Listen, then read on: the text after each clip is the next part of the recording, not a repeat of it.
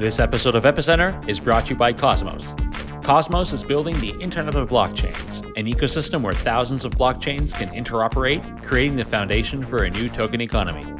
If you have an idea for a dApp, visit cosmos.network slash epicenter to learn more and to get in touch with the Cosmos team. And by TopTal. Experience a new way of hiring as TopTal delivers only the top 3% of applicants, including highly skilled blockchain engineers. If you're looking to scale your team with the very best talent, visit toptal.com slash epicenter. Hi, welcome to Epicenter. My name is Sebastian Couture. And my name is Brian Fabian Crain. So today we have an interview with Ben Goertzel, who is the CEO of SingularityNet. He also uh, works for a company called Hanson Robotics. You may have seen in the news, and so Hanson Robotics makes this uh, robot, uh, this kind of humanoid robot named Sophia. She's been featured in, uh, you know, on TV shows in Silicon Valley, the sitcom, and and sort of has become an ambassador for robotics. And so Ben is an expert in in artificial intelligence and robotics, and SingularityNet is a company that is building a sort of a marketplace for AI uh, on on a blockchain. So we talked to Ben about all kinds of interesting topics that we don't usually get a chance to, to discuss on the show since we pr- primarily uh, focus on blockchain, but talking about AI in a more general sense and what the future is there, and then sort of how that ties into blockchain was a really fascinating conversation. And and, and Ben is is uh, is a great uh, speaker on these topics and does a lot of you know, thinking um, at a high level. So it was really fascinating to get to interview him. Uh, but first, we got a couple of announcements. So one uh, one thing we should mention is that we're going to be at least I, I, will be at EthCC on the week of March 4th.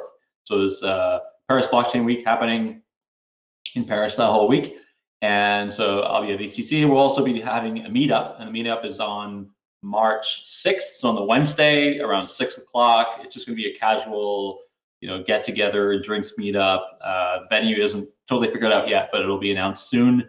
And uh, hope, yeah, hope to see you there. It's going to be, uh, I'll be there. Sunny might be there as well, and you know, we'll have some some guests uh, and other listeners. So happy happy to have you. We're happy to have you join us for that meetup. And you can sign up and register at epicenter.rocks slash EthCC. So that's epicenter.rocks slash ECC. If you register there, we'll send you the address uh, for the venue when uh, when it's announced. And Brian, I think you had a, an update on Chorus One. Yeah, but first of all, that sounds great. I'm so jealous. I wish I could be in Paris too. I think it's going to be a really great conference. I mean, the first one that they had a couple years ago, where we were there together, it was terrific. And I wasn't there for the subsequent ones, but it's now grown to. Uh, the organizers have told me they're waiting for. They're uh, hoping to have 1,500 people there. It's going to be at the CNUM, which is this really fantastic venue, and um, yeah, 300 speakers. So it's it's it's turning out to be quite a quite a huge conference.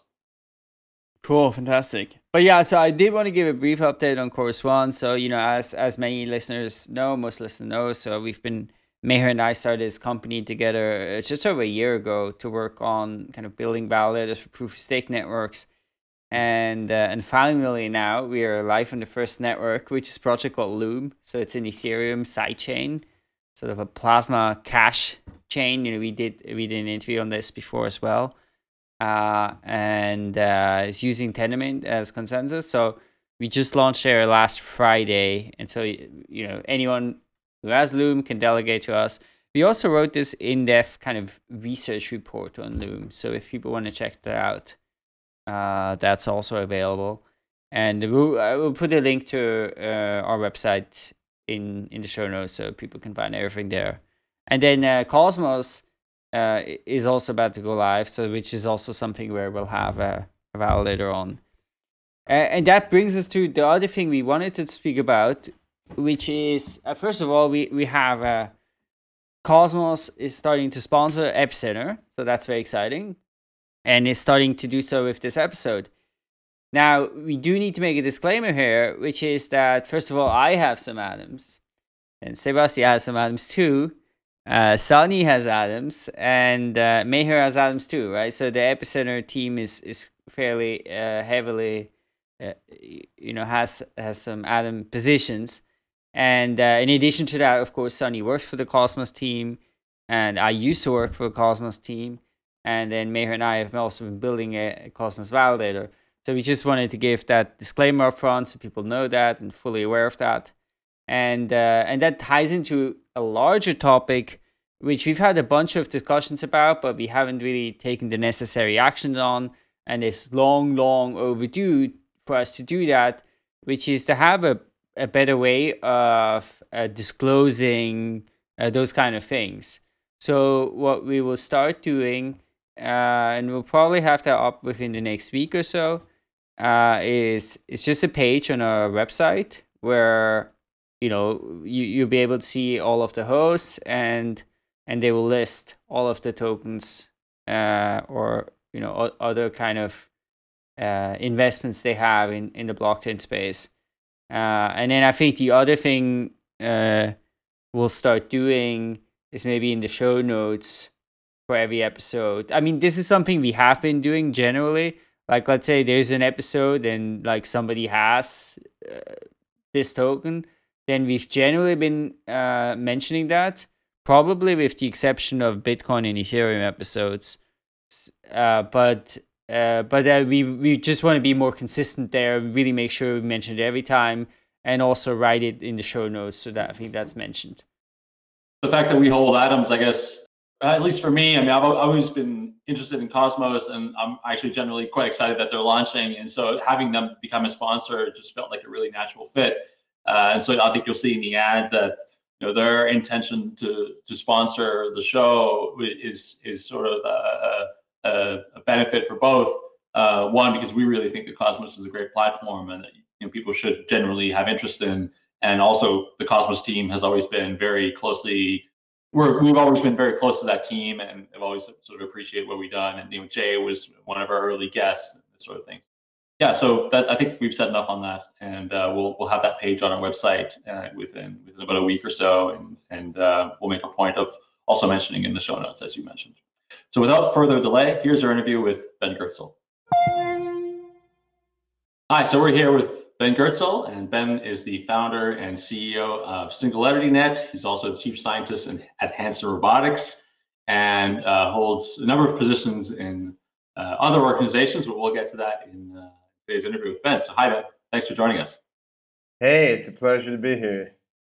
Well, thank you for joining us. So, uh, yeah, you have a very impressive resume. So, as I mentioned, uh, you're the uh, founder and CEO of, of SingularityNet. You're also chief scientist at Hanson Robotics. You have a PhD in mathematics. Uh, you've started a whole bunch of companies in lots of different areas, and you're involved in some nonprofits and foundations as well. So, how, how did you how did you get here and what uh, what does your trajectory look like and how did you get involved in AI and robotics? I've been interested in AI, robotics, uh, life extension, nanotech, femtotech, time travel, all these things since uh, you know the early 1970s when I when I was a, a little kid reading science fiction books, and you know now a few decades have passed, and I find myself in a world where many of these apparently science fictional technologies are are gradually becoming realities, and so it, it's really really exciting to me to actually be every day, you know, concretely working on building thinking machines and networking people and computers together into a into a global brain and applying AI to longevity and nanotechnology. It's it's astounding that we live in a time when these things are are realities, and of course, it's also a bit scary and sobering at times because these things could go badly wrong, or or they could go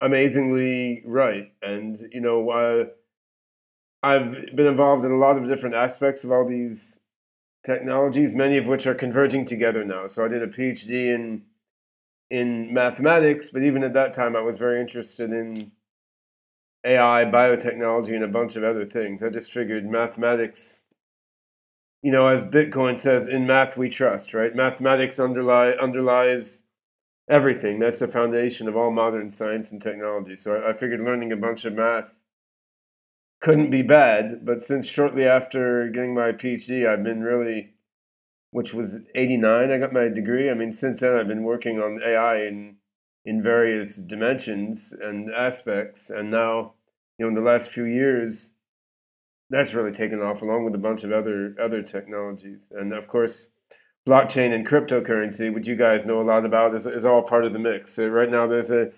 insane number of different advanced technologies for manipulating and creating different kinds of information that are all you know intersecting and and and pushing each other forward. And you could talk about these for hundreds of hours without exhausting it all.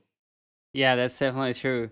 So let's let's spend a little bit of time first on the topic of ai which is something that i think you know we've tangentially talked about a bunch of times but still it's I guess like like probably for many outside of blockchain space, this you know big scary term that's a little bit hard to kind of demystify. So how how do you define AI? And what's the difference between AI and you know terms that people use like machine learning and deep learning? I don't think any of these terms are worth too much in in, in the end. I mean, AI. I mean in what sense is it really artificial? It's all, it's all part of nature, and to some extent, these systems are evolving and emerging instead of being purely artificially created. And intelligence, we don't even have a good definition for among humans. Like, there's not an IQ test that works across different cultures or ages of people, let alone across different kinds of, of minds. So none of these are very rigorous terms. I mean, machine learning, again, in essence, all AI really is about machines that learn and, and, and reason and think. That term has lately come to be used to describe particular types of AI algorithms that are trained on, on large amounts of, of data, but then the term is also used more loosely. So, you know, is reinforcement learning a kind of machine learning or not? It's, it's not especially, it's not especially well defined. And I mean, deep, deep learning, again, in cognitive science, you know, a guy named Stellan Ohlsson wrote a book on deep learning, what, 15 years ago, which encompassed neural networks, logic systems, production systems, many kinds of AI algorithms. But now, now the term seems to be used for what used to be called multi-layer perceptrons, multi-layer neural networks, which is really only one special kind of deep learning system in the, in the broader sense. So, I mean, what what deep learning originally meant was any system that just does hierarchical pattern recognition, like recognizes patterns within patterns within patterns within patterns in the world and uses those to take some action. The deep learning systems being talked about mostly now are hierarchical neural networks, which is one special kind of deep learning system in the broader case. So, I mean, what, what we have is a lot of words with confusing definitions that, that, that shift over time and don't necessarily mean what they sound like they mean, which which comes back to in math we trust, right? Because the, the, thing is, the algorithms are doing are doing what they're doing, and there there's a real mathematical description to them, which and they carry out practical functions. But the the buzzwords associated with them serve mostly to to sell things rather than to convey useful information. Okay, okay that is helpful but then let's speak about one term and, and i think that's a term that maybe you do have more of a relationship to which is uh, agi so artificial general intelligence yeah well let, let, let, let, let, me let me try to go to what i think are the foundations here because i mean there it is possible to describe these things in a way that, that makes sense. It, it's just that, that things become marketing buzzwords and then, then and then then become become confusing. So I, I think fundamentally you can think about a mind or an intelligent system as something that's recognizing patterns in itself and in the world around it, and then that system may have some goals, which doesn't mean everything it does is goal directed, but it may have some goals, and it, it then recognizes patterns regarding which actions will achieve which goals in, in which contexts, right? So you have a pattern recognition system and it has goals among other dynamics and it's trying to learn, it's trying to recognize patterns of how to achieve what goals in what situations. And you know, ba- babies do that, right? Babies are recognizing patterns in the world around them all the time. and they have some goals, like they want to get some milk, some food, they, they want to run around, and they try to figure out what patterns of activity will let them achieve their goals in what in what situations. And then where I mean where deep learning comes in is the world we live in seems to be made largely of hierarchically composed patterns, where you have patterns that build up into more complex ones, build up into more complex ones. I mean, just like physics builds into chemistry, builds into biology, builds into psychology, builds into sociology. So, so we have hierarchically composed patterns, which means if you have a learning engine that is trying to recognize patterns in a hierarchy, it may well succeed because our, our world seems to be seems to be built that way. Now, it happens that most of the AIs out there in the world now are able to recognize patterns in a very narrowly defined context and to achieve only a very narrow set of goals. Like, say, the, the original AlphaGo could recognize patterns in Go games and it could achieve the goal of winning a Go game, right? And that was it. Now, AlphaZero was a step beyond that. These programs are all by Google DeepMind, which is one of the more interesting AI organizations out there. AlphaZero went beyond that because it can play a lot of different kinds of board games. So it can recognize patterns in a broader scope of environments in many, many different types of board games. And it can achieve more types of goals because the ways of winning chess or Go or, or Shogi or whatever are, are, are, are different, right? It's still not nearly as general as a human being, though, because we can not only play board games, but we can recognize patterns in a huge number of other kinds of environments and we can achieve many, many different types of goals. You know, like we can prove math theorems, we can blow people up, we can we can chase girls, we can we can make art, we can try to save starving kids. There's a lot of goals we can work toward in a fairly rich collection of environments, but we're still not like infinitely general intelligences. You could you could imagine a mind that could recognize patterns in 407 dimensional space. We're very bad at that, right? We're much better at like two, three, or four dimensions. So we're we're still somewhat restricted. We're good at recognizing patterns in some kinds of environments and achieving some kinds of goals, better than AlphaZero or existing AI programs.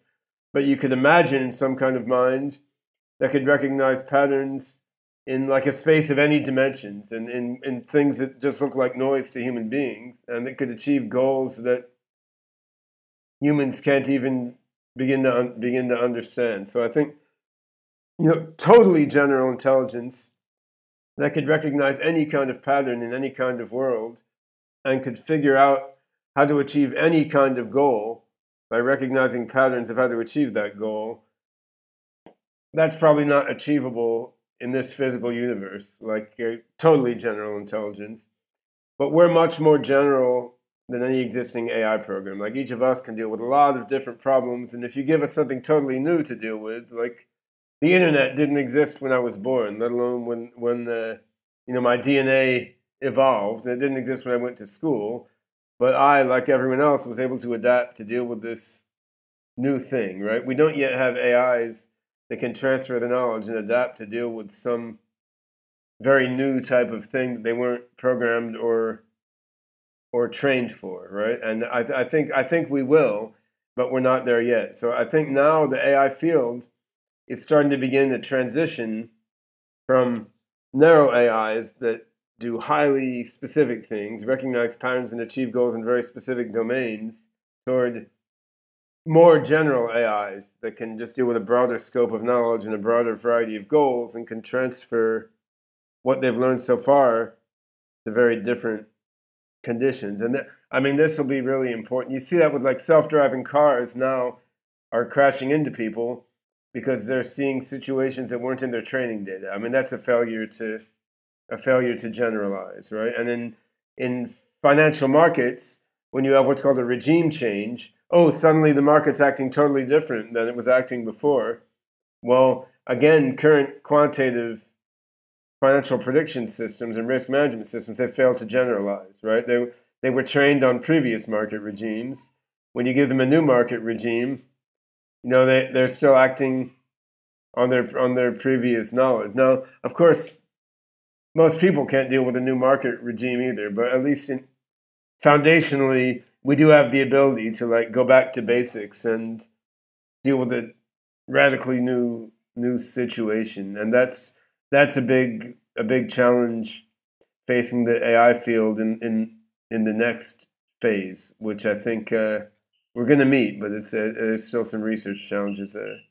That's interesting. I, have never considered that way. That you know, I guess that like humans and carbon-based beings are good at recognizing certain types of patterns, and I guess you could maybe differentiate. So, like humans are good at at recognizing certain types of patterns and acting on them, and that might be different from, like, for instance, the intelligence of a dolphin or another type of carbon-based yeah. being. And then artificial or computer-based uh, intelligence or, or like silicon-based intelligence might be good at recognizing patterns and, like you said, like you know, multiple hundreds of dimensions and figuring out you know actions based on on, on what what sees there in those patterns. Yeah, it gets kind of subtle if you think about it, because like I mean, we we evolved in this domain of like discrete solid objects like bouncing off each other and so on, right? And th- this probably led us to ideas about causation.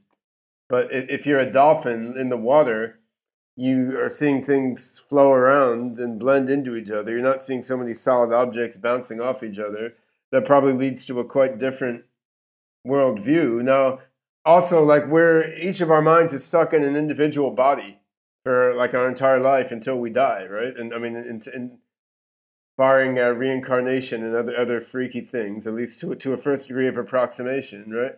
Now, if you're an AI that can port yourself between different bodies or occupy a hundred different bodies at a time, or like fork yourself and or ro- roll back to your last version before a traumatic experience? Like, uh, how does that change your whole outlook? What kind of patterns you look for? What goals you, you bother to achieve? What risks you're willing to take? Right? I mean, I mean, there's yeah, there's so many ways that we're overfit to the exact environment we evolved in and, and the problems that, that we're trying to solve. And then the, the other thing to realize, like realize is we we're stuck without root access to our brains and bodies which is which is pretty terrible, right? Because I mean, if you're an AI, you can have like root super user access to your own brain and body. If you think, well, I don't like the way I react in this situation, just go in and fix the damn bug, right? But but we we can't. If we want to fix bugs in ourselves, it's like years and years of uh, you know meditation or, or therapy or reflection, rather than just go in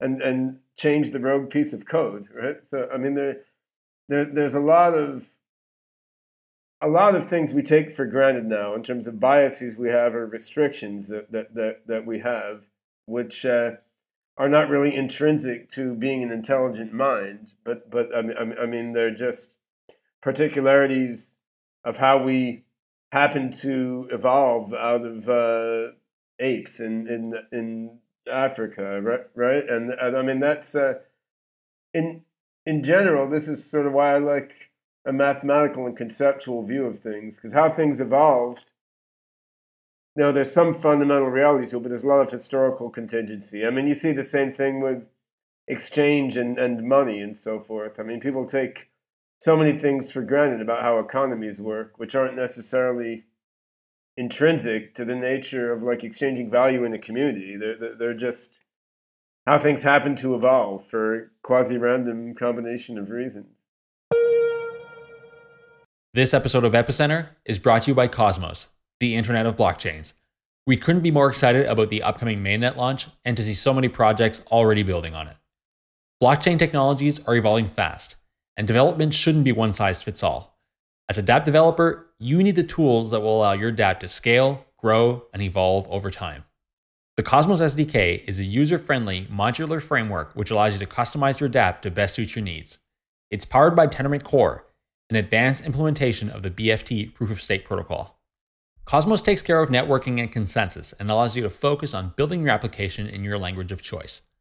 Ethereum smart contracts will be supported soon, and the SDK makes it simple for you to connect to other blockchains in the Cosmos network. If you have an idea for a dApp and would like to learn more about the Cosmos SDK, or if you'd like to connect your existing dApp to Cosmos, visit cosmos.network/epicenter. For Epicenter listeners, the Cosmos team will reach out to answer your questions and help you get started. We'd like to thank Cosmos for their support of Epicenter. So let's let's talk a bit about um, about AI and data. And uh, this is a topic that has been brought a lot in the in the conversation about AI and, and the fact that AI needs large quantities of data to uh, to train itself, and we, we kind of talked about this. So, you know, to, today data is very centralized, and data is is held and owned by by a small number of very large companies. Do you see this as a problem? Uh, you know, is, is, there any type of repercussions that were unintended there, or Oh, is there a better system that you think we could achieve? Yeah, I mean, the situation with the collection, storage, and use of data regarding human beings on the planet now is really pretty ridiculous. I mean, it's not it's necessarily entirely bad or, or malevolent. Some of it's really good and useful, but overall, the ownership and control of data from the various sensors we have everywhere is it's centralized in a, in a pretty bizarre way. I mean, some of it's good, of course. Like Google Maps, it's it's pretty nice and it's collecting data on where everyone's driving to, so you can like see where there where there's a traffic jam, right? So the, these are these are very these are very useful functions and I don't really mind sharing location anonymously of where I'm driving with Google Maps, so it can tell everyone else where there's a traffic jam, right? I mean that that seems like a fair exchange, but I mean in in the end, the agency regarding use of people's data is in a very confused state. So like there this phone I carry with me everywhere, right? There's a tremendous amount of data coming through this phone onto the internet, and it's all in a sense, my data, right? It's data about what I'm talking about, who I'm talking to, like where I am, what I'm taking pictures of. But all this data coming from me through this device that I bought and then I pay a subscription to connect to the internet each month, like this data, it's going sort of haphazardly into various databases owned by various large corporations, probably passing it along to various governments along, along the way. And then this data is then being used you know for some useful things like telling me when there's when there's a traffic jam right? And and then it's being used to advertise things to me which doesn't matter to me much since I never I've never clicked on an ad in in, in, my life I think. But it, I mean it's uh, it's it's it's being used by big companies to make themselves money and increase their ability to manipulate people as a whole. Like even if I don't click on their ads, by studying me along with everyone else, they're learning how to manipulate the minds of other people who do click on their ads and do read their, their fake news. So then, yeah, you got to ask, like, okay, this data that comes from me through this device that I'm paying for, I'm paying to connect to the internet. Like, why why isn't there an easy way for me to observe what this data is being used for and have some agency over what this data is is being used for. Like if, if my data is being used, you know, to provide data to fuel someone's political campaign, I'd rather have it be used only for a candidate I agree with or something, right? And you know, it's quite within our reach technologically to put agency over use of our data, whether for AI or for basic statistics, in, in the hands of the human being who produces that data. On the other hand, it's not in accordance with the business model of the large corporations involved in the phone and the internet services behind it. It's not in the interest of the business model of these corporations to provide that agency to the user, except insofar as like government regulators force them to. But of course, government regulators, even when well intentioned, which is only a fraction of the time, they can't keep up with the the advances of the of, of technology. Now, this, uh, I mean, this uh, right now is mostly an inconvenience and a sort of aesthetic and, and moral infelicity. But I mean, as as we move from narrow AI toward AGI, if it turns out that these stores of data, you know, are critical for giving some parties a boost toward AGI more so than others, right? And then then this hoarding of data could actually have a have a more a more critical importance. And in, in principle, blockchain and related technologies give a way to circumvent these issues by putting each individual's data in some you know online repository or distributed decentralized repository which is encrypted by their private key and then giving that individual agency over how the data is used and then there are fancy tools like homomorphic encryption and multi-party computation which can, can be used to you know let a person give certain aspects of their data to certain other parties to use for certain things without giving all of it away. So, in, yeah, in theory, the blockchain-based decentralized ecosystem provides the technical tools and the sort of cultural oomph to to solve these problems. And on the other hand, the centralized ecosystem underlying you know big data and mobile phones and computers and embedded devices is has multiple trillion dollar companies uh, pushing things pushing things forward. So there, there's a the decentralized world has the right tools, but a big challenge on their hands here. I'd love to speak a little bit about the concept of AI safety, and, and just to to take a step back here, I guess like you know what what are some of the fear scenarios here? Right? So so like let's say fear scenario today is okay, AI is replacing all of these jobs so people become you know unemployed uh, maybe it, it leads to accumulation of resources a few people more and more and you have this like extreme inequality right like that that's like one fear scenario about ai maybe a different one is that then this ai starts to have its own objectives becomes more and more powerful gets more and more resources and its objectives maybe it's hostile to humans or maybe it's like indifferent to humans.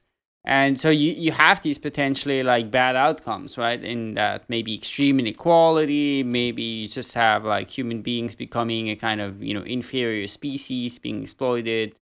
And then you know there's this there's this is field right? Like this idea of ai safety. So, like what are your thoughts on it? Do you think this is an important field? Do you think efforts around ai safety are needed?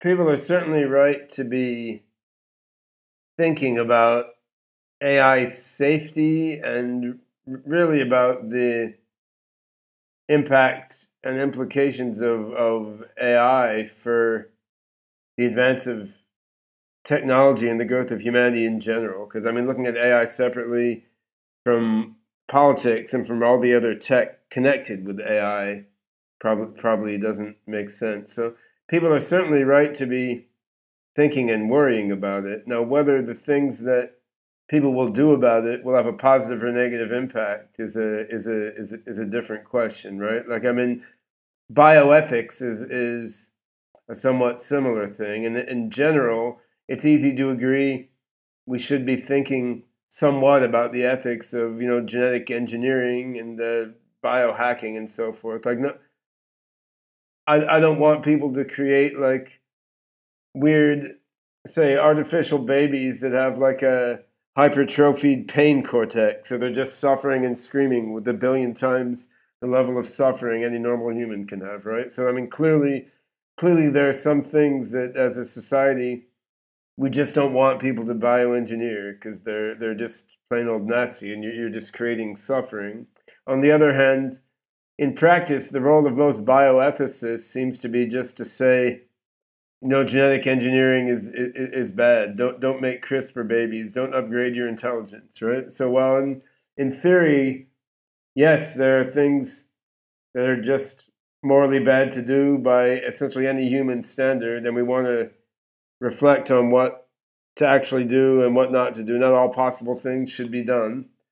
On on the other hand, in practice bioethics seems very uh, one-sidedly inclined to just push against advancing of humanity in new directions and to push against reduction of suffering in favor of maintenance of the status quo. And I would say most most people who talk a lot about AI safety are not really thinking about how to maximize the odds of a beneficial outcome for humanity, all things considered. They more are, are, are thinking like, how do we slow down AI development because we don't understand it and we're scared about it. So I, I myself disagreeing with almost everyone who's putting themselves out there as an AI safety pundit. But that that doesn't mean I don't think AI safety is important. Like I, I don't want the Terminator to be roaming roaming the streets. Like I, I, I mean I have four kids. I, I don't want an AI to be turning them into fuel or something, right? So, so let's, let's talk then about about. I think this ties into Hanson Robotics quite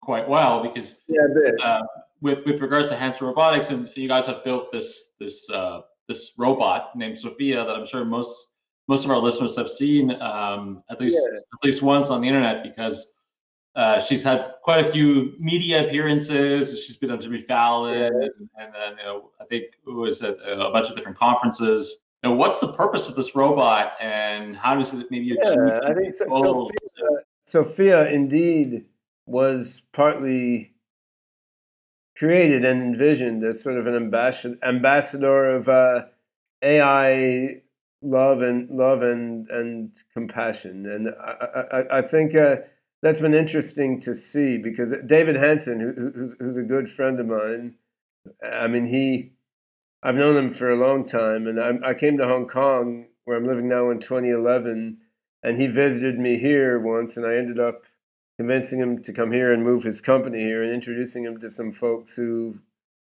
helped inject funding into his company here. So we've been talking about these things a long time. And I think what's interesting is David is really a warm, loving, good hearted person. He wanted to create a robot that would emanate love and compassion, make people love it so that it would, you know, build a positive relation between humans and, and robots, like proactively, even before we have human level AGI, so that as AIs and robots get more and more generally intelligent, that positive relationship is there. On the other hand, David, he's an artist, and as such, he can't help himself from poking people and, and, and provoking controversy uh, a little bit and making making things a little bit creepy sometimes just because he thinks that that that looks that looks coolest. So I, I mean, I, I, I, would say Sophia and all the Hanson robots are they're driven by David's desire to build a sort of compassionate, loving bond between human and AI and, and robot, and also at some level driven by David's uh, semi-conscious artistic desire to poke at people a little bit and make and make them a little a little uncomfortable, right? And the, these come together in an, in an interesting way, and I think that's good because you know my my emotional orientation is optimistic and, and, and positive. So I mean, my intuition and feeling is that the technological singularity is going to come out awesome and closer to utopic than dystopic.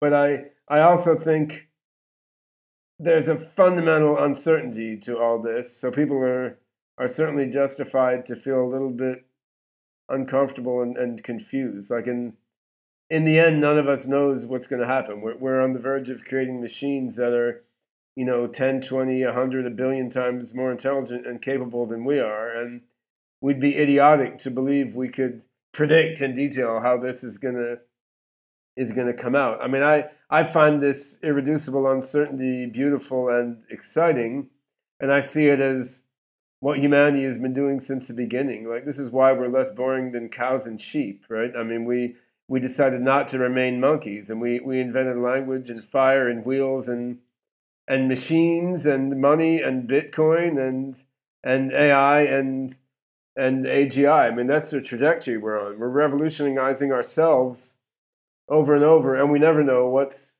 we never know what's going to happen next, right? And that's that's part of the essence of what of what it is totally. to be human. And I, th- I think David he, he baked some of that in, into Sophia as, as, as an artist, along with the love and, and, and compassion, which is quite cool. Yeah, yeah, and and so probably many listeners have seen the TV show Silicon Valley, so there is this kind of uh, uh, basically inspired by by you and by Sophia, the part there where basically, uh, you know, someone meant to be you is is kind of playing this role. But let's move to blockchain now. Uh, when did you get interested in blockchain, and why did you think that blockchain had you know kind of relevance to you know the future course of AI? Uh, I've been so I've been interested in crypto for a long time, like since the early '90s when I was doing math with finite fields and, and cryptography tech, and that that seemed like it could potentially be important just politically in terms of stopping governments from having like the ability to spy on everyone's information and, and keep it unique, uniquely for themselves. Bitcoin I didn't like because it just because proof of work annoyed me. It just heats up the environment and wastes energy unnecessarily. So I did I didn't get involved in that. When Ethereum came out, that's the first thing where I thought, well, this this is actually cool. Like it, it did it did use proof of work, but you could see there was a, a will and a path to going beyond that. And then you had Solidity. I mean, you have a scripting language which basically lets you create this, you know, secure in, in, encrypted decentralized world computer. And I, I thought I thought Ethereum was a vision in the right direction and it was a reasonable software tool set, although obviously immature at first and not, not that mature still. So once Ethereum came out, I started really thinking like, how do we use this to create like a decentralized global AI network? Because in 2001, I published a book called Creating Internet Intelligence, which envisioned a, you know, a decentralized global network of AIs coming together as a society of mind. And before that, in in '95, I, I posted some web pages claiming I was going to run for U.S. president on the decentralization uh, party platform, which I, I ended up not doing because I realized in time what a terrible job it would be to be president anyway. But I mean, the, these ideas were interesting me for a long time, both decentralized control politically, because I always had this sort of anarcho socialist bent, and then the idea of making a decentralized global AI network like Marvin Minsky's Society of Minds, but an economy of minds where the AIs are paying each other for work and there's collective intelligence coming out of the of the whole network beyond the intelligence in the parts. But Ethereum seemed like a critical step forward toward having a tool set that that would let you do this. And so that then as soon as Ethereum was there, you had the idea of, of DAOs, decentralized autonomous organizations, which again they'd been spelled out in science fiction, like in Charlie Stross's book Accelerando and a bunch of others, but with a Solidity programming language, like wow, you could script a DAO in a short script, right? That's that's similar feeling to how when I first learned Java in like 1995, it's like wow, you can create a web page or send an email with this much code. That's power, right? Solidity was like that. Like you could you could create a decentralized corporation in just a little bit of, of, of code. It's not the perfect language, just like Java wasn't, but it, I mean it it really, it really opened the door and once I saw how Ethereum worked, I started thinking, well, how do we put this together with, for example, OpenCog, which is my open source AI platform aimed at general intelligence, or you know, distributed neural networks or genetic algorithms or whatever other type of AI. It seemed clear you could use Ethereum as a basis for connecting together many different AI nodes into some sort of decentralized AI mind, and then this logically, this should be able to kick the asses of Google, Amazon, Tencent, and the IBM and all these big companies by, you know, the power of decentralized community. And then when when I I met Simone Giacomelli, who was later to co-found SingularityNet with me, and he had he had a blockchain development team in Italy, and he'd been helping out a host of different blockchain projects. So when I met Simone, who was really conversant with the blockchain world, both technically and on the business level, then we sort of put our heads together and we we like roughed out what became the singularity net design and then started moving toward the initial token sale. And then David Hanson, who already was a close friend, I mean he he saw the vision immediately. Our first meetings on this were in the Hanson Robotics office in, in Hong Kong. And David saw this as a way to get like a decentralized global robot mind cloud behind his robots. Because you always knew the intelligence isn't going to be in Sophia, right? I mean, some is about seeing and moving, but the cognitive parts, the long term knowledge, are going to be in the cloud. But what cloud, right? Do you have a million robots around the world and all the intelligence is running in Amazon's cloud or it's using like Microsoft Azure API?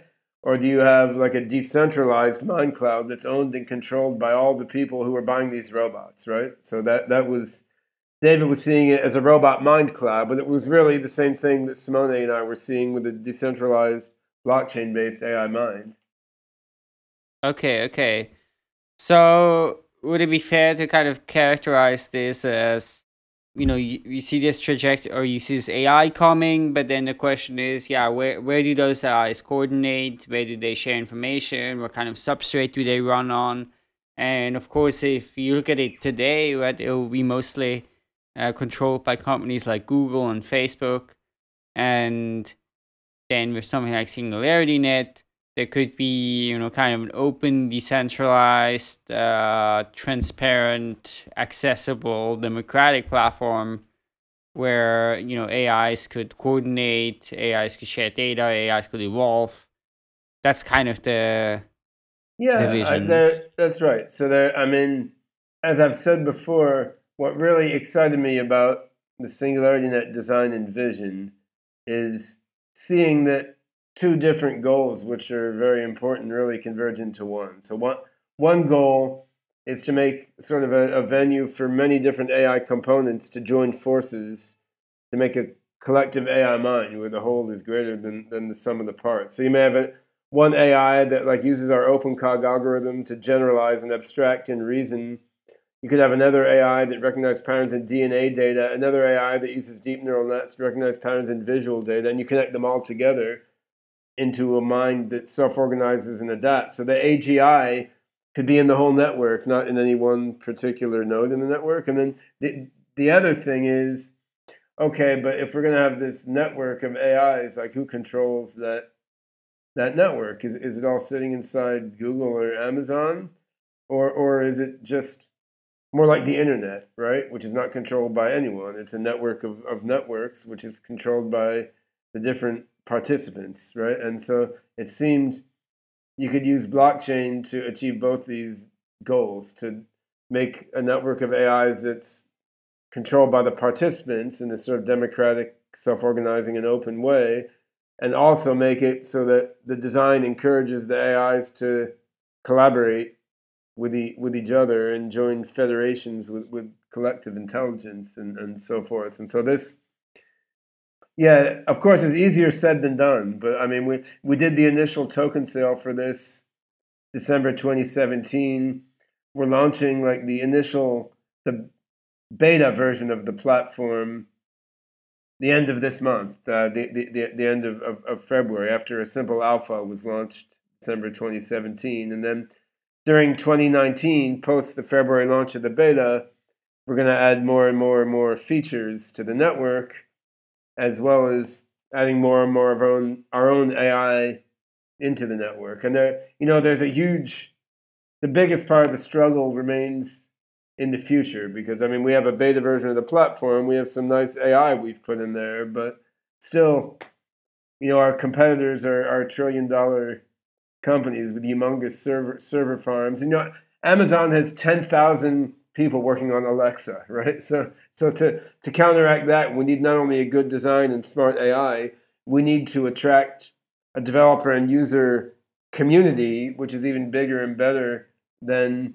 than the armies of highly paid employees that these big tech companies have. And this, uh, I mean, this is one of the reasons why I'm happy to talk to, to you guys and, and, and, and your audience because get, getting a community crystallized around decentralized AI is absolutely critical to really making the decentralized AI vision happen. Hiring is stressful. Let's face it, it's a long process of sifting through resumes and interviewing candidates without any guarantee of quality. But it doesn't have to be this way. Companies all over the place are experiencing a new way of hiring with TopTal. If you go to their Trustpilot page, you'll see that of the hundreds of people that have left reviews, over 98% were four or five star ratings including one guy who wants to give his developer a bear hug. That says a lot. TopTal gets all this great feedback because they focus on their clients, and their top priority is quality. They only accept the top 3% of applicants, including highly skilled blockchain engineers. One of these engineers is Radek Ostrowski. Radek has experience as a lead software engineer and data scientist for Sony and Expedia. Then he discovered blockchain and he became totally consumed with Ethereum. He worked as a consultant for the firm Start On Chain, and his time locked app won the top quarter consensus Uport and Identity blockchain hackathon. Then he expanded his reach through TopTal. He worked with a bunch of clients on projects such as smart contract development and a POC that leverages blockchain. If you want to hire engineers like Radek for your team, go to toptal.com slash epicenter for a no-risk trial. A TopTal director of engineering will deliver your next hire in as fast as 48 hours, and you'll get a $1,000 credit when you decide to hire. We'd like to thank TopTal for their support of Epicenter. Let's go a little bit in depth on, you know, Singularity Net and what that looks like. So can you speak about, you know, what are the different kind of components of the system? And you mentioned, you know, developers getting involved. Let's say now there is some AI algorithm developer. Like how would they how would an interaction with Singularity Net look like?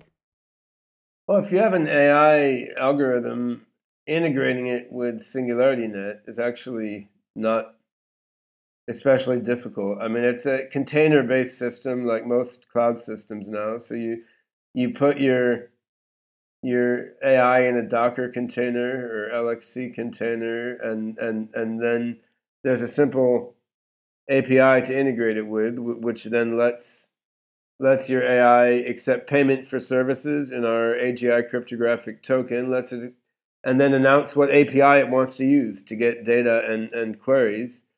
And then it can give responses in, in, in JSON or in whatever API it, it wants. So it's really just, it's a system of containers. And then there's a, a payment system using a token. And I mean, for, for cases where an AI outsources work to another AI, which outsources work to another AI, there's a, I mean, there's a multi-party escrow framework on the back end, and there, there's a system that allows a lot of AI to AI transactions to occur off the blockchain for speed purposes. But all that's really behind the scenes. I mean, from the point of view of an AI developer, it's it's really pretty simple to put your AI in a container and take, I mean, 15 minutes to two or three hours to integrate integrate with the the Singularity Net wrap, wrappers. So I get that, right? So uh, I put my algorithm into Docker container, kind of make it accessible through Singularity Net. But let's say now I'm on the other hand, somebody, I have a bunch of data. I would love to get a better understanding of maybe what's actionable, what it means. So could I then go and basically say, you know, kind of hire the services of different of these AI algorithms to like get me results? Yeah. And... So I, I think the decentralized protocol could actually be used by anyone. And I mean, we use behind the scenes a component called Drizzle, which allows like decentralized search of, of any network of, of Ethereum nodes. So, I mean, you could, if you are a reasonable scripter, I mean, you could just put out, script your own query to go search the whole network and find any AI that broadcasts that's able to do the kind of thing that that you want. Now, on the other hand, we're making it easier than that. So, along with the beta, we're launching just a marketplace user interface, which is a website, and you can go to that website and you can see what AI services are are listed and and what sorts of things they do, and you see their addresses and and and and, and so forth. So, I mean, that's uh,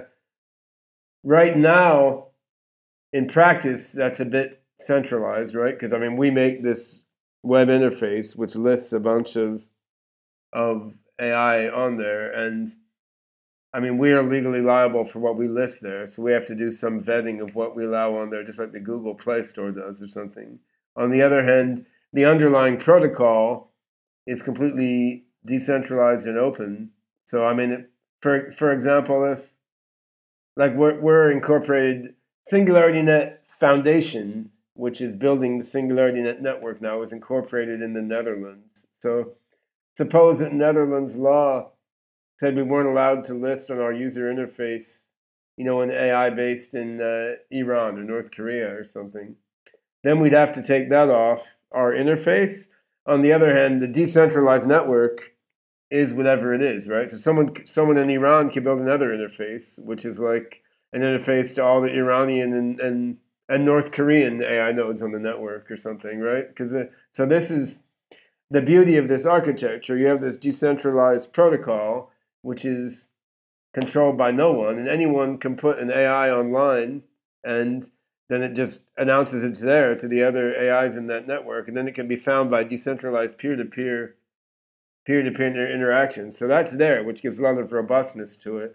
On the other hand, for ease of use, we're we're putting up uh, a simple website which just lists lists the the AIs that are that are on there, which then can be interacted with from a customer's view, just like you're getting AI as a service from any other directory or, or, or somebody's website. Now the the beta still has some limitations in the sense that we accept payment in the beta only in our AGI token, which is an ERC20 token. And one of the things we're going to do in the months after the beta is integrate the third party you know, fiat to crypto payment system because, of course most most companies who want to use AI inside their their website or their product, not from the crypto space, they, they don't want to deal with crypto wallets and so forth at, at, at this point. But this this isn't isn't a really big obstacle. It's just something we, we, we hadn't hadn't done yet. It's more a regulatory thing than a, than a hard technical problem.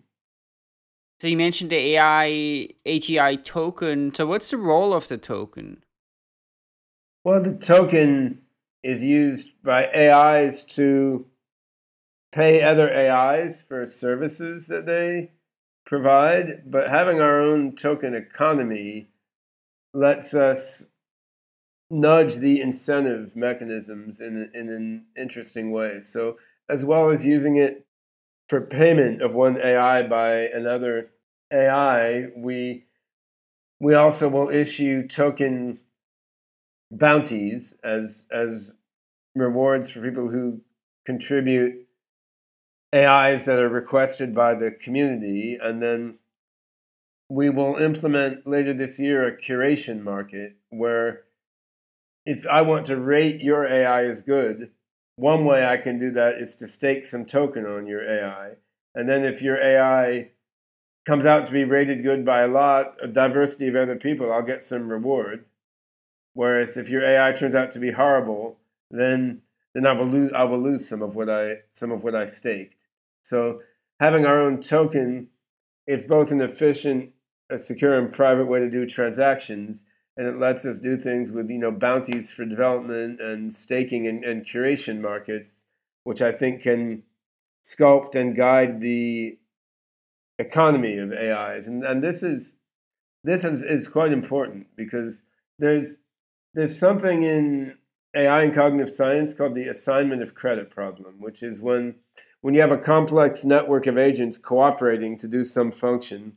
I mean, how do you ensure that the agents like deep in the bowels of the network that indirectly helped achieve the function are actually getting getting rewarded, right? And the human brain somehow does this, right? Like if you do something that gets you food or sex or money or intellectual satisfaction, whatever is good, you know, the, the neurons that moved your arms and legs don't get all the reward, right? There's reward that goes to the neurons deep in your brain that helped you get whatever those goodies were.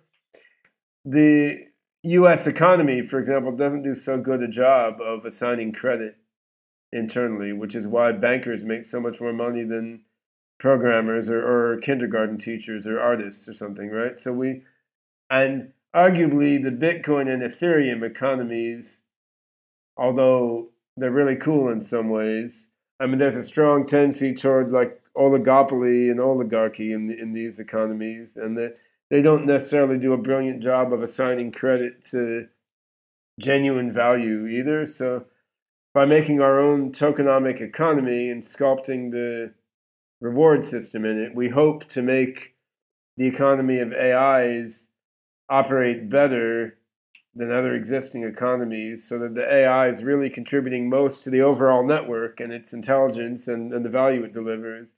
The AI is contributing most to the overall network are actually getting rewarded significantly. And th- this is a hard problem where like economic design matches cognitive science, right? It's it, these these are fairly subtle things.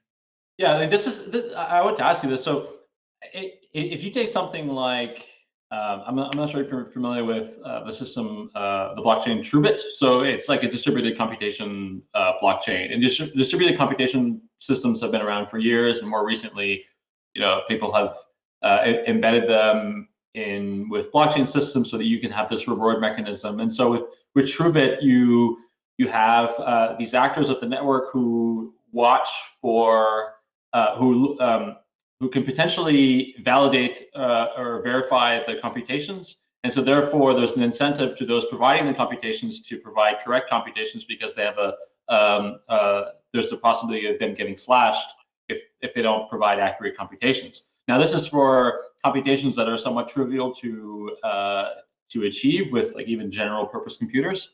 Uh, but with, with AI, if I send some task to an AI and it it returns a result or it returns some some sort of data set how can i as a user or even other users of the network verify that and also i think with ai there there might even you know with gen, like general intelligence becoming uh, you know closer to reality you know ais could have their own kind of subject subjective bias perhaps.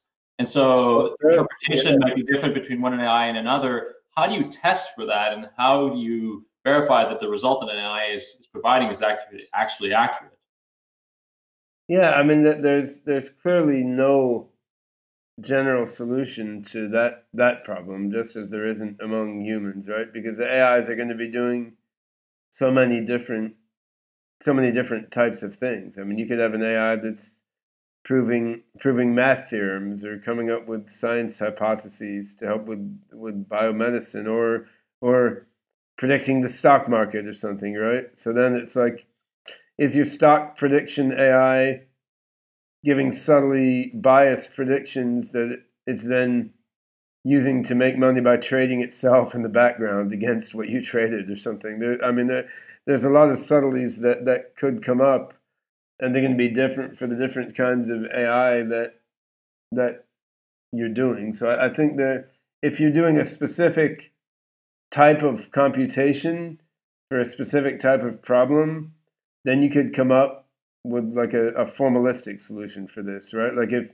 if if you have an AI that's generating programs according to specs, you can do some like formal software verification to see that the software actually performs according to spec. And if you're if you have an AI that's analyzing DNA data, I mean, if you if you have your own human DNA data, you can do out of sample testing on, on, on that data to see if it's valid. But the, there's really going to be no general purpose solution, and SingularityNet is really a general purpose network. So we, I mean, we put a bunch of work into designing a reputation and rating system which is sophisticated and, and hard to game. And this is not part of the beta, but it will be it will be rolled out rolled out uh, later in, in, in 2019. But I think that that's been like a holy grail for every online marketplace, right? And we you really need to get you really need to get that right because in the end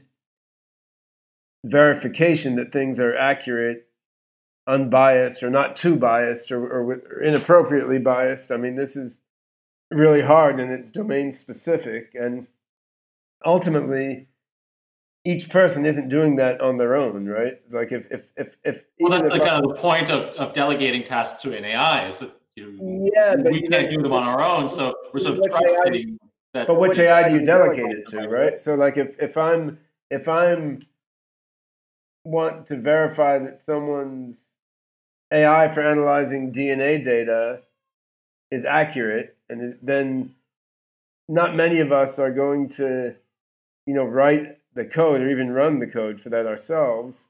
We're going to go to some service that that does that, and then which service do we trust? Like, is it the SingularityNet Foundation certified service? Well, then that's like a centralized elite, or or do you have a variety of you know competing services out there? Then you choose which one. So in, but then it comes down to reputation systems again because then, then you're choosing the one that you think has the highest reputation. Maybe because it comes from harvard university or from the the nsa or like who, who, who do you who do you trust right? So i mean ultimately even when there's a formal mathematical solution there you're you're placing trust in in someone, right? Now, if something is simple and generic enough, you could bake verification in, into the protocol, right? I mean, as is done as is done with uh, with cryptographic checking, and, and but I think checking if an AI is correct or not is just it's not going to be that simple. It's going to be a variety of different algorithms for different checking different types of problems in different domains, and then you need reputation system to be able to place to know which verification checker to to trust and then people will try to game game that reputation system by giving a high rating to, to bogus like ver- truth verification checkers right? So so you need a machine learning based reputation police to to try to stomp out people gaming the reputation system and then you have to believe the machine learning based reputation police itself isn't corrupt, right? So I mean, I mean this this right. is a, this is the world that we're that we're that we're in. But on the other hand, like the real world economy isn't all that clean and and safe either, right? Like w- which major government is not is is is not corrupt in some in some serious way. So I I don't think like the AI and blockchain economy is not creating this problem. This is a problem of human beings being assholes, right? And this is this is just uh, it manifests itself in everything that human beings do. Okay, so this is great. So I, I think it very much ties into another thing that uh, you know I really look forward to addressing here a little bit. So when you spoke about um, kind of the division mission of Singularity Net in a different interview I heard you know, you mentioned that Singularity Net has these two objectives. Uh, first is the objective of maximizing intelligence. The other one, this objective of kind of uh, pursue the maximum benefit for all beings. I'm curious. So, you know, we spoke a little bit now about okay, how do you evaluate an AI, and you know, how can you check whether what they're doing is correct, is in your interest. Uh, so, I, now I I understand also the concept of creating this efficient marketplace for AI. And so now I, as a normal small business owner, I can kind of use AI and maybe have something almost as good as Google and I don't trust them fully, or maybe something better than Google right down the line. But like how can you how can you make sure that this system is going to end up being a system that pursues this, you know, benefit for all beings and that kind of embodies this this value? Well, we can't make sure of anything, and I would say if if we don't create singularity net, if I decide to go do something more relaxing with my life instead, then how do you know for sure that you know Xi Jinping, Vladimir Putin, Donald Trump, uh, Google, IBM, Tencent, uh, all the companies out there. How do you, how are you sure that those guys are going to create an AI which is for broad human benefit? And if everyone stops making AI, how do you guarantee that no one's going to like send synthetic viruses out there to poison everyone to death, right? So uh, uh, or that the proliferation of nuclear material in the you know Eastern Europe isn't going to be used to blow everybody up. So I mean, I think we're not in a point in human history where there's a great amount of, of certainty. There's probably even more uncertainty than in the past, and and, and there, there's there's always been a lot. So, but really, the the question to ask is, on average, are we better off creating a, a decentralized, you know, benefit-oriented AI platform like SingularityNet, or well, are we better well, off? I mean, my not, question not having that there and and having all the other shit going on in the world, right? I mean, that, that that's that that's the question. That's the question to ask. So, so yeah, we, I mean that's a fair point, but then I, I think that's just sort of rephrasing the question a little bit. So then I guess my question is, well, what are you doing in order such that you know this objective is and this value is embodied in the platform? Yeah, I mean there there's two parts of that. So what one part is in sort of the tokenomics of the Singularity Net ecosystem, the other part is in the AIs that the Singularity Net Foundation itself is are, are, are building and putting into the network. So I mean, in, in terms of the tokenomics. I mean, there's curation markets and an intelligent reputation system, which which is designed so that at least the agents that are contributing value to the network are getting rewarded proportionally to that instead of having sort of game game theoretic dynamics where a few agents will accumulate all wealth, which is what seems to be happening in Bitcoin and Ethereum and is what happens in most conventional economies also. And then on top of that, a certain percentage of the tokens that were initially minted are earmarked to be spent on benefit tasks as decided by the community, which can be things like healthcare, education, me- medicine, and, and so forth. So there, there's at least that nudge put in there to have a certain percentage of the tokens spent on, on things that are considered of, of, of broad benefit. I mean, and this is this is much like a government does when it when it spends some percentage of its wealth on on social welfare, right? It's just most most projects don't like wire that into their their economic operation. But then the the AIs that we are putting into the network ourselves are largely benefit oriented. So Sophia Robot, which we talked about, one thing we've been doing is using Sophia as a like a therapist and meditation assistant. So that's you know that's not solving all the problems of the world, but it's different than the Terminator, right? I mean, it, it's using a robot to kind of help people expand their consciousness, and we we're we're we're working on applying AI that's using OpenCog framework and wrapped in SingularityNet to analyze DNA data of people living 105 years or over to figure out what makes them live so long, to try to figure out how to extend other people's lives. We're analyzing images of plants from China and Africa to try to diagnose spread of crop disease in early stages using using deep neural nets for image processing. So, of course, each of these things is a drop in the bucket regarding what we need to do to massively improve the state of humanity. But the, the, the hope is that by injecting these things in the network at, at an early stage, you're impacting the culture of the community. Because ultimately, this is about the community that, that you build around SingularityNet. So if if through curation rewards and, and benefit tokens and having a bunch of you know positive beneficial stuff happening in the network and then you know our largest our largest development office is in Ethiopia, in, in Addis Ababa, where we have 20 uh, something developers working on, on SingularityNet. So we're, we're trying to actively pull people from the developing world into development and, and use of the network. So hopefully, by all these things, we'll be nudging the community in a, in a positive direction, which is really going to be the most important thing. Because, I mean, if, if we're successful with this, then you know, five years from now, the work done by SingularityNet Foundation will be a relatively modest percentage of all the work being done to build the protocol and the network over time. And the AIs in the network will be mostly contributed by, you know, other random people, not, not by people paid by SingularityNet Foundation.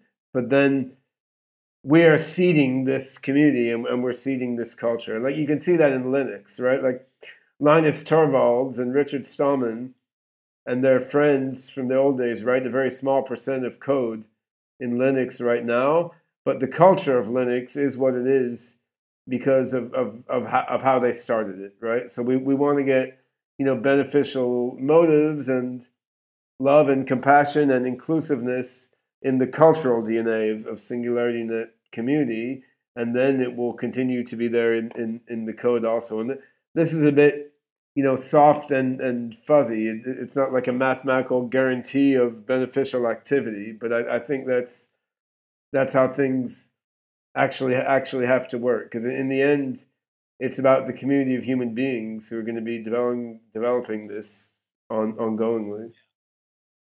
Well, that's that's really fascinating, and uh, and uh, I think also the fact that you guys have, have actual people in Ethiopia working on problems in Ethiopia is is really is great and uh, uh, far far removed from uh, what a lot of people in the blockchain space are are doing this. Yeah, in this although you know, Car- Cardano Cardano is running a like a year long education program where they're teaching 100 young Ethiopian programmers Haskell.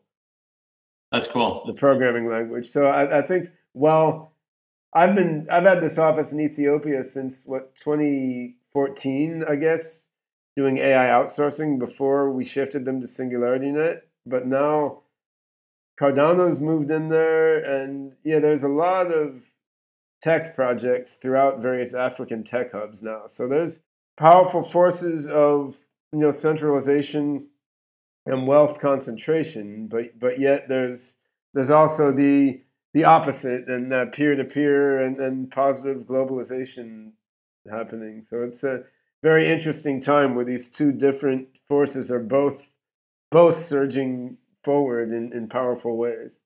Cool. So before we wrap up, I, I did want to ask you one one last question, uh, and this is we, we kind of touched on this earlier when you were talking about uh, AIs making predictions. So let, us imagine a future now where uh, you know a lot of a lot of the economy is is run on blockchain systems. So you have you know powerful markets that that exist exclusively on blockchains, and organizations and companies are interacting with these markets on blockchains, doing business on these markets, and these mark these markets are run by DAOs. So uh, there are there are governance mechanisms in place which uh, allow the companies that themselves that are you know, operating on these markets to participate also in the governance through through staking. Okay, so you know the companies that use the markets also have stake on the markets and they can participate in governance decisions for like protocol updates or things like this. Now, it, it seems like there would be an incentive at this point, uh, and, and even for something like prediction markets, for these companies who have stake to essentially delegate their stake to an AI because then AI is going to make much better decisions on what types of governance uh, or what types of proposals that they should be making in order to maximize the network uh, itself and also sort of like maximize their profits uh, long term.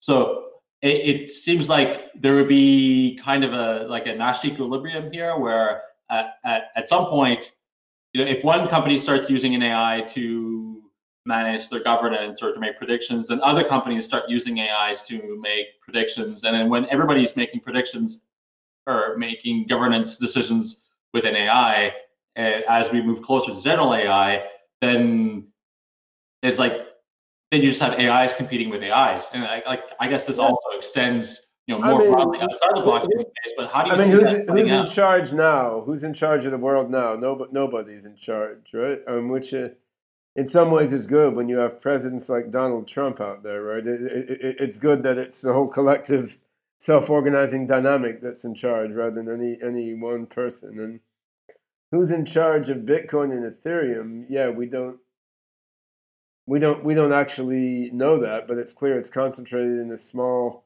a small number of individuals and and in, in, in investment groups who, who are who are controlling these things. So yeah, I, I think you know in the long term, it's inevitable that you know if AIs are a thousand times more intelligent than human beings and have molecular nanotechnology and so forth, it, it, it's it's inevitable they're going to have more physical power than than humans, right? I mean, it doesn't mean they're going to control every little aspect of what humans do in their lives, but they're they're, they're going to have more more oomph than we do, right? So I mean, in the long term, which may just be like decades from now, we're going to have two choices. One is like you you wire into the network and uh, become become one with the super intelligent global brain, even if that means giving up many aspects of your legacy humanity, or else you know you live in the in the people preserve like the squirrels in the national in the national park and you know the the squirrels the squirrels in the park,